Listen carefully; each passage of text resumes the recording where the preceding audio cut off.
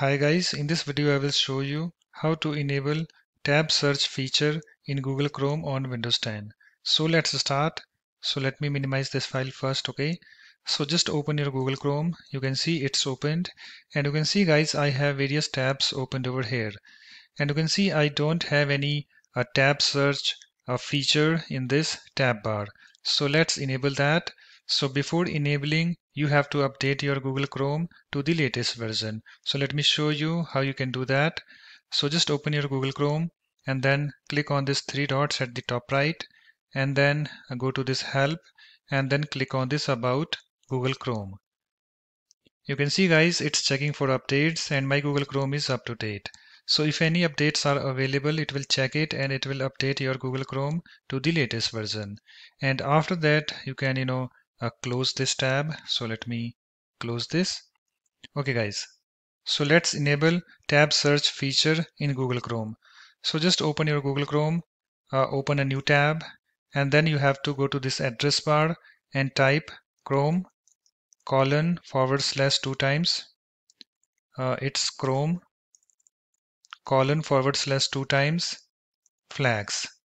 And after that, hit enter key on the keyboard. So let me do that and you can see guys I have you know a flags page opened. And here we have the search flags uh, this search box. So just do a search for tab search. So let me do that. So here I have this uh, flag enable tab search. And here we have you know some information. Uh, enable the tab search feature in top Chrome user interface uh, which will show a pop-up bubble that allows users to search over their currently open tabs. So in order to enable this, you have to click on this default button over here. Let me click on that. And you can see here we have three options, default, enabled, and disabled. So you have to click on this option enabled. So let me click on that. And you can see here we have the message at the bottom. Your changes will take effect the next time you relaunch Google Chrome. So just click on this relaunch, this button over here. Let me click on that. So it's relaunching and you can see it's now relaunched. So let me uh, open all these tabs again. Okay guys, so they are now opened.